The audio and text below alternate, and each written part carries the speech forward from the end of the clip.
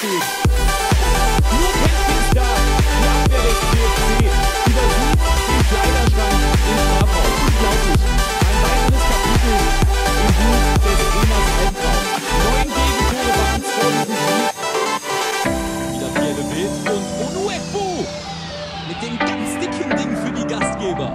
Kingsley Onuekbu bekommt den Ball da etwas überraschend, deswegen kann er ihn nicht mehr richtig kontrolliert mit der Stirn drücken.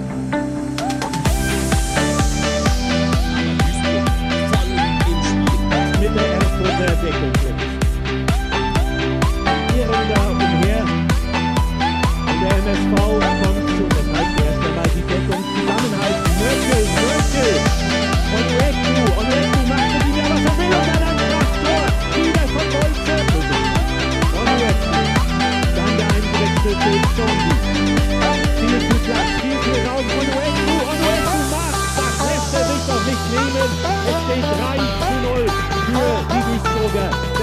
hat dieses entschieden in der 75. Minute der dritten Hälfte. Konrad leitet ein.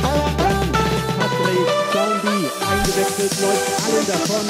Viele sind auch aufgerückt und man muss es ja immer wieder betonen.